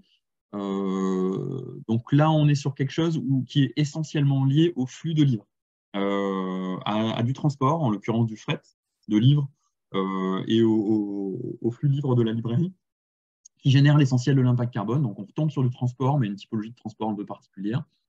Euh, et puis un tout petit peu de transport public, euh, de, des publics, sachant que là, on avait pris euh, en, référence, c'est les amis du Shift Project, encore une fois, qui avaient fait l'exercice, une librairie de taille moyenne en centre-ville. Donc, du coup, avec une capacité de venir dans cette librairie en mobilité durable supérieure à ce qui peut se passer peut-être dans des zones plus, plus rurales. Toujours pour vous comparer, une année du Théâtre Opéra National de la Monnaie à Bruxelles, c'est 4000 tonnes de CO2. Donc, vous voyez, on, est déjà sur on commence à être déjà sur une échelle un peu supérieure d'impact. Pourquoi? C'est un très, très gros théâtre avec des très grosses productions, des très gros décors à l'international avec des choses qui tournent beaucoup. Des grosses équipes aussi parce que euh, ben, y, a du, euh, y a du concert, il y a, y a de l'orchestre. Euh, donc voilà, c'est aussi beaucoup plus de personnel en équivalent temps plein. Vous voyez, on, monte le curseur, on est à 4000 tonnes. je vous ai mis la tournée mondiale de Coldplay parce qu'ils se revendiquent éco-responsables. Alors, ils ne le sont pas vraiment, mais ils se revendiquent tel quel. Euh, en l'état, une tournée dans les stades de, Coldplay, c'est 10 000 tonnes de CO2 émis. Vous voyez, on est encore sur un curseur. Euh, dès lors qu'on va être sur les industries culturelles et créatives, on est sur des curseurs d'impact qui sont plus significatifs. Je vous ai remis l'année de, toute l'année de la filière du livre en Grand Est. Donc là, c'est vraiment toutes les librairies et tous les acteurs du livre euh, sur toute l'année en Grand Est. 95 000 tonnes. Et comme, comme on est en pleine Coupe du Monde au Qatar, je vous ai remis euh, l'estimation qu'on a à peu près sur euh, l'impact euh, de cette Coupe du Monde, 3 millions de tonnes, et puis une année de fonctionnement d'une centrale à charbon, 20 millions de tonnes. Pourquoi je vous donne ces chiffres? Bah, Pour répondre à ce que je vous disais au tout début. On a des impacts environnementaux dans la culture, il faut à tout prix qu'on les travaille vite et fort, parce que ça va nous permettre de devenir résilients et de nous adapter finalement à toutes ces transformations qui, qui sont en train d'être menées tout autour de nous. Euh, de choisir euh, la façon dont on a envie de se transformer. Mais il ne faut pas non plus qu'on soit dans la culpabilité parce que nos impacts restent euh, petits par rapport à d'autres secteurs. Donc le principal intérêt de transformer le secteur culturel, c'est pas tant d'atténuer ses impacts pour sauver la planète, plutôt que d'atténuer ses impacts pour le rendre capable d'être un vrai vecteur de la transition. C'est-à-dire qu'il soit aussi crédible quand il va amener des choses en termes de transition et quand, le, quand un livre nous parle vivant, si sa façon, la façon dont il est produit n'est pas cohérente avec, avec son propos, ça va devenir de plus en plus gênant et de plus problématique, euh, de plus en plus problématique, y compris pour les, pour les lecteurs. C'est la même chose pour une manifestation littéraire. Une manifestation littéraire euh, qui notamment inviterait Baptiste Morisot euh, ou Vinciane Després pour parler du vivant et qui serait organisée selon des modalités dont on verrait qu'elles ne sont pas très soutenables, voilà, ça va nous mettre en porte-à-faux. On a un besoin finalement de mise en cohérence et d'exemplarité. Et ça, on peut le faire en responsabilité. On n'a pas besoin d'être en culpabilité. On n'a pas besoin de souffrir des impacts environnementaux qu'on génère. On a surtout besoin de se mettre en ordre de match finalement pour transformer la société autour de nous. C'est ça l'exercice qu'on doit faire, c'est nous transformer pour pouvoir être capable de transformer la société autour de nous. C'est ça l'enjeu. C'est bien la société autour de nous qu'on doit transformer pour pouvoir sortir des centrales à charbon, pour pouvoir peut-être se poser vraiment la question si on a besoin de faire des Coupes du Monde au Qatar, et, euh, en tout cas pour être dans un processus d'atténuation complètement global et, euh, et intégré par le, par le secteur.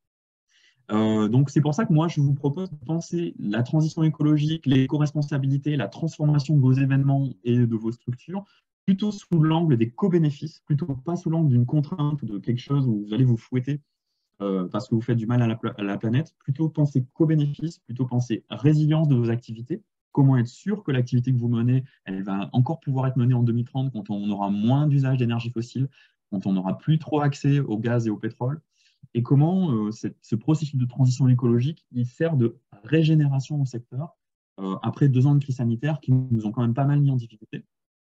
Euh, donc ça part du principe que ok, on peut admettre que les, que les activités culturelles c'est pas forcément les plus polluantes, mais pour autant il y a un besoin urgent d'enclencher la transition écologique du secteur culturel pour pouvoir choisir la façon dont on se transforme, réduire notre dépendance aux ressources critiques.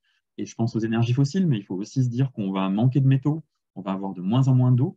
Tout ça, euh, c'est réduire notre dépendance à ces ressources-là, bien nous adapter aux effets des crises environnementales, c'est-à-dire à la fois comprendre ce qui est en train de se passer et puis du coup choisir les bonnes mesures d'adaptation, pouvoir aussi euh, dire euh, aux institutions qui nous financent qu'on a compris, et qu'on est, nous, capable d'amener des éléments de réponse, décider de notre propre trajectoire de transformation en assumant les choses qui sont pour nous essentielles et puis les choses qui sont peut-être pour nous plus discutables. voilà, vraiment dans une logique de choix et en assumant cette capacité qu'on a, nous, unique secteur culturel, d'être un vecteur de transformation et d'être un vecteur de transition. Je, peux le résumer d'une formule euh, que j'utilise assez souvent. Il n'y aura pas d'exception culturelle euh, de droit à polluer dans le contexte de transition écologique dont je vous parlais au début. Ça n'existera pas. Ça va assez vite être insupportable pour les institutions, pour les citoyens, pour tout le monde, que de voir des secteurs qui ne joueraient pas le jeu de la transition ou de la transformation. Donc on a besoin de rentrer dans cette logique-là pour, pour finalement accompagner le mouvement idéalement en être moteur et en être vecteur. Pourquoi on peut en être vecteur et moteur? Eh ben, Parce qu'en fait, il y a un endroit complètement unique dans le secteur culturel, et dans la littérature en particulier, euh, c'est la capacité que les livres ou la littérature peuvent avoir de jouer, de transformer les imaginaires et de construire les imaginaires dont on a besoin pour, euh, pour après, pour le monde d'après. Euh, capacité à représenter autrement le vivant. Je vous ai parlé de Baptiste Morisot, de Vinciane Després, par exemple. Bah, c'est typiquement l'exercice que eux ils font. Ils essayent de nous amener une nouvelle manière de voir, euh, de voir le vivant. Euh, et aussi pour, pour travailler la façon dont on voit notre propre planète et notre propre espace de, de vie. on parlait de littérature, mais ça peut être par des livres d'art. Je pense ici à un livre qui s'appelle Terraforma, qui a été développé par Frédéric Aitouati, et qui consiste à, cartographier l'invisible de notre, de notre Terre, donc les sous-sols, euh, les tuyaux qui passent euh, sous nos villes, les racines des arbres, tout, tout, ce qui est invisible. Donc là, ça, donne à voir à travers l'objet livre quelque chose de, différent et ça nous, ça nous, transforme nos perceptions. agir aussi sur nos émotions. le contexte dont je vous ai parlé, il ne va pas être facile, il n'est pas simple. On va perdre du patrimoine naturel et donc du patrimoine culturel ça s'appelle la solastalgie. La solastalgie, c'est la nostalgie de ce qu'on est en train de perdre euh, du, point de vue, euh, euh, point de vue de la nature. Comment ben, les livres peuvent avoir aussi un, travail mémoriel autour de ça, nous aider à passer aussi ce, moment du point de vue émotionnel. Et puis aussi, parce que dans un contexte difficile comme celui-là, on, aura toujours besoin de faire du lien, d'avoir de la joie, et qu'une manifestation littéraire autour d'un objet aussi beau que le livre bah, ça fabrique ça aussi, de la convivialité, euh, de la joie et du plaisir. Et ça, c'est des choses qu'on a éminemment besoin dans notre, dans notre euh, donc voilà, moi, c'est ce en quoi je crois. C'est pour ça que je travaille spécifiquement les questions de carbone et les questions de transition écologique dans la culture. Pas parce que je pense que ça, ça, va sauver la planète si on rend le, secteur culturel soutenable, mais parce que je pense que le rendre soutenable, c'est le rendre capable de devenir un vecteur magnifique et essentiel des transitions si on ne le fait pas, on ne sera pas en cohérence. Et en plus, on risque d'être mis en difficulté, y compris du point de vue économique. On n'aura pas anticipé les transformations et on ne sera pas, résilient. Euh, assez vite, puisqu'il me reste quelques, quelques minutes, euh, je voulais euh, bah, vous tracer du coup des grands détours et chemins de, transition. encore une fois théorique, on va rentrer dans le pragmatique juste après avec, avec Béatrice. de façon très théorique, pour essayer un peu de structurer votre pensée, euh, on va avoir, on, peut être attiré par certains types de ce que j'appelle moi des détours. Ce pas forcément des impasses, c'est plutôt des chemins incomplets, euh, des choses qui ne nous permettront pas d'aller jusqu'au bout. Je vais vous lister assez vite euh, l'innovation technologique. Oui, on va pouvoir utiliser un peu la technologie pour, pour nous aider dans ce processus de transition, mais les scientifiques nous le disent et les scénarios, notamment transition avec un S de l'ADEME, nous le rappellent. La technologie qui nous permet de rester sur un scénario tendanciel n'existe pas. Euh, donc euh, voilà, on, va pouvoir s'appuyer sur la technologie, mais pas, une technologie miracle. On va pouvoir faire un peu de compensation carbone. Euh, ça, c'est quelque chose sans doute que vous avez entendu, peut-être même parfois que vous pratiquez. mais le GIEC nous rappelle qu'il faut en faire très peu, on sera capable d'en faire très peu, et que le gros de l'effort, c'est un effort d'atténuation. On va pouvoir utiliser le numérique, mais encore une fois, les impacts environnementaux du numérique eux-mêmes posent une limite à cette numérisation et, euh, euh, à l'intérêt environnemental de, numériser. Euh, on pourra y revenir dans la discussion si vous souhaitez. L'éco-responsabilité, elle va être intéressante, mais là, j'aime bien rappeler que l'éco-responsabilité de chacun n'est jamais une garantie de l'éco qui permet de dire que trop de projets éco-responsables ou soutenables, ça n'est pas soutenable. Donc, vous voyez la différence entre le côté on se regarde tout seul dans son coin et puis on essaie d'avoir une vision un peu globale du problème toute la difficulté qu'on a, nous, dans le secteur culturel, c'est de mettre les curseurs du pro. On peut imaginer que finalement, on n'a jamais assez de livres. Il n'y a jamais trop de livres, mais en même temps, c'est une vraie question à poser quand on voit les impacts et la matérialité de ces impacts-là.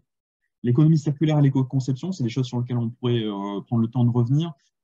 garder juste peut-être en tête cette idée que être plus efficace, c'est à ça que ça sert l'économie circulaire et l'éco-conception, ça ne nous a jamais rendu plus souvent. Donc, il faut qu'on fasse attention à ça faut qu'on fasse de l'économie circulaire et de l'éco-conception, mais avec cette idée derrière de la sobriété euh, dans nos usages matières et dans nos usages énergétiques notamment. Euh, en résumé, on retombe sur ce que nous disait l'Agence européenne de l'environnement. Euh, on va devoir changer en profondeur et de façon complètement systémique notre modèle de production. Donc, au-delà des choses très pragmatiques qu'on peut faire à court terme, il faut qu'on soit capable tout doucement, ensemble, de réinterroger nos modèles économiques pour, construire ceux de, ceux de demain. Euh, ça nous amène au chemin de la transition. Euh, je vous en propose cinq, il y en aurait sans doute euh, plus, mais des pistes pour cheminer doucement et de façon, on va dire, un peu globale dans la transition, au-delà des fiches pratiques, encore une fois. on constate, nous, dans le travail d'accompagnement du secteur sur ces questions-là, qu'on a besoin d'un management un peu plus durable, et notamment d'un petit peu plus d'horizontalité dans le management, pour pouvoir embarquer l'ensemble des parties prenantes et des personnes dans cette aventure-là c'est une des clés. Sinon, ça génère des résistances, de l'incompréhension. Voilà, ça ne marche pas. On fait un pas en avant, deux pas en arrière. Euh, on a besoin de sobriété. J'en ai déjà pas mal parlé euh, à tous les points de vue, énergétique, technique et numérique. Euh, l'enjeu là autour de la sobriété, c'est comment on fait ça sans finalement se rabougrir, sans finalement générer une forme d'uniformisation et perdre la diversité des projets, sans aussi peut-être perdre la mémoire de ce qu'on a fait. Euh, alors ça, c'est notamment très vrai des arts visuels, arts visuels qui ont été euh, ces derniers temps pas mal dans le monumental. Euh, comment on garde la mémoire de ça en rentrant dans une nouvelle ère de sobriété Pas simple. changement d'imaginaire aussi autour de l'apaisement des rythmes de production. ce que je vous disais, trop de projets soutenables n'est pas soutenable. Là, je rigolais, on en reparlera aussi dans les, choses techniques, du, salon du livre de Brive, que vous connaissez toutes et tous, qui avait le, train du, cholestérol, euh, donc ce fameux train de Paris à Brive, euh, qui est pour le coup un, dispositif très très soutenable pour faire venir des auteurs euh, sur, le, sur le salon littéraire. Ben, en 2018, quand ils ont décidé de faire aussi l'avion du livre, c'est-à-dire de faire aussi venir des auteurs sur le salon en livre, parce que les auteurs connus, pour les auteurs connus, faire 4h30 de train, c'était beaucoup trop et insupportable, ben, ça, pose, ça devrait nous poser une vraie question sur notre rapport à la vitesse et euh, notre rapport au rythme de production. Si on n'est pas capable de ralentir, on ne sera pas vraiment capable de faire de la soutenabilité. L'essentiel des clés en soutenabilité, notamment en termes de transport, ça passe par des formes de ralentissement. Autre clé, euh, la coopération. Coopération entre individus, structures, territoires, donc à toutes les échelles.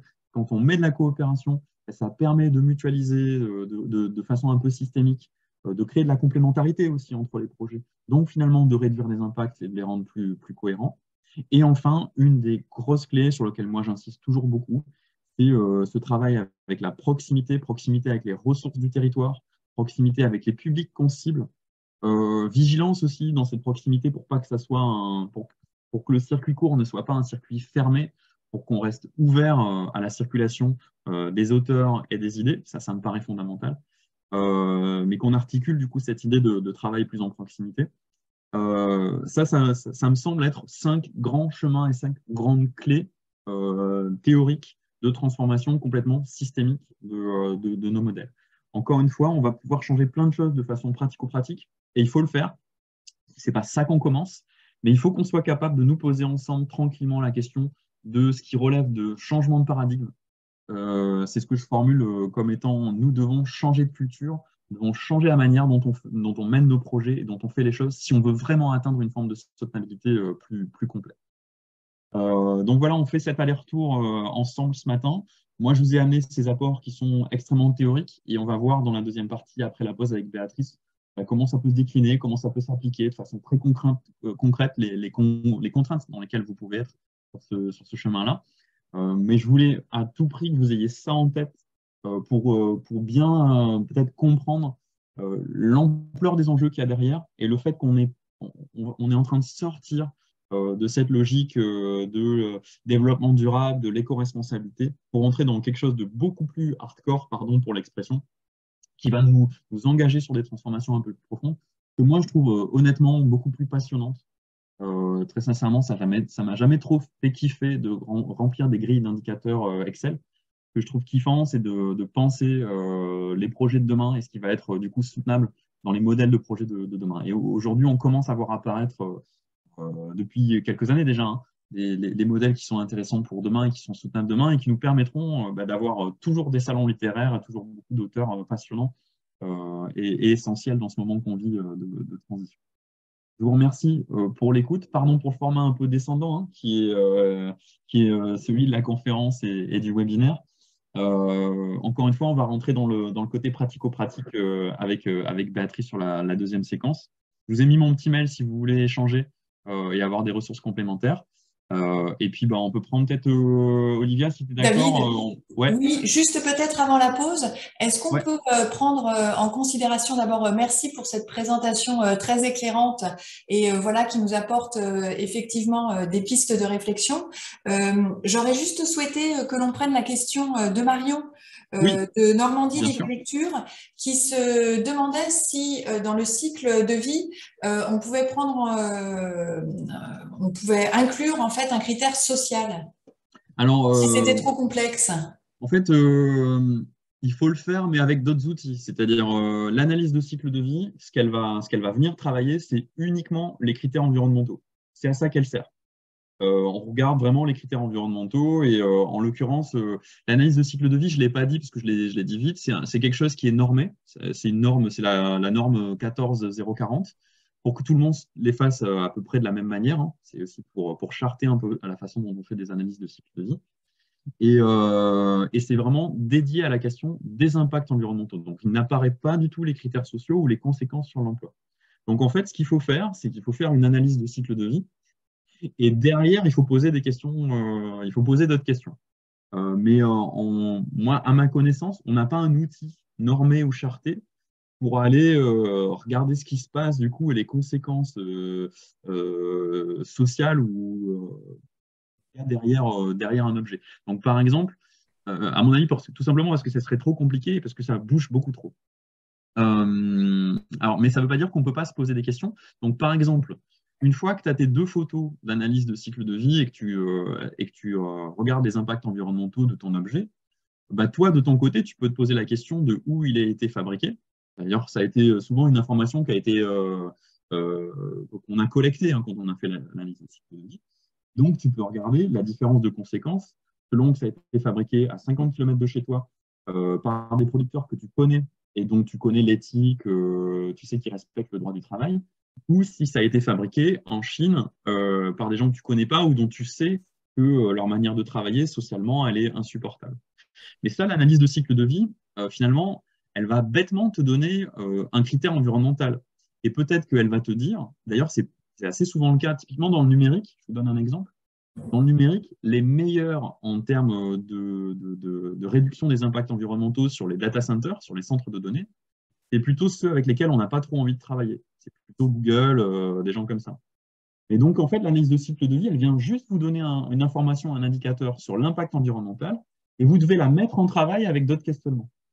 Euh, ça peut pas être, en fait, euh, vous n'allez pas prendre votre décision uniquement à partir de critères environnementaux à partir d'aujourd'hui. Même si le critère environnemental devient un critère d'analyse fondamental, vous devez continuer à arbitrer avec l'ensemble des autres critères votre propre soutenabilité économique, euh, le, votre tissu d'acteurs et à quel point ça respecte effectivement les enjeux sociaux. Euh, c'est aussi la, difficulté de la mise en musique. Hein. Euh, le critère environnemental, il vous est donné par l'analyse de cycle de vie et vous devez le mettre en musique avec d'autres typologies de questions. Merci. Merci pour cet éclairage. Ouais. Euh, donc, euh, ouais, ce que disait Marion, hein, typiquement, on, saura. Donc, dans l'analyse de cycle de vie, on va aller chercher où elles sont extraites, les matières premières. Donc, on saura euh, d'où ça vient, parce que c'est en fait, c'est indispensable pour mesurer les distances. on sait d'où ça vient, mais tu n'auras pas de, critères sociaux. C'est à toi de, le questionner. et ça peut être parfois difficile, hein, parce que tu peux avoir du coup des producteurs labellisés et en même temps, euh, tu sais, tu connais pas forcément toujours la fiabilité du label. Euh, alors que quand tu es sur un producteur en proximité, local, limite, tu peux aller le rencontrer, discuter avec lui, voir comment il travaille. Et là, tu as une relation un peu directe avec le producteur qui permet d'être sûr que sur le point de vue du critère social, tout est bon. Quoi. Bien. Voilà, j'espère que c'était clair. La liste de cycle de vie, c'est vraiment que la question environnementale. Mais c'est précieux pour ça, en fait. Ça nous donne une photo de, OK, du point de vue environnemental, qu'est-ce que ça raconte? D'accord. Et donc, euh, typiquement, pour reprendre un autre exemple, on a, euh, a aujourd'hui des analyses de cycle de vie comparatives entre voitures électriques et voitures thermiques. Euh, donc, on sait, avec l'outil analyse de cycle de vie, que ce n'est pas une mauvaise idée de faire des voitures électriques à la place des voitures thermiques. Mais l'outil analyse de cycle de vie, il ne va pas venir nous dire à quel point finalement le mieux, c'est de faire beaucoup, beaucoup moins de voitures euh, et, euh, il ne nous, raconte rien des conditions dans lesquelles on va fabriquer ces voitures électriques. Est-ce qu'on va les fabriquer dans des conditions éthiques, euh, socialement ou pas? L'outil analyse de cycle de vie ne nous le dit pas.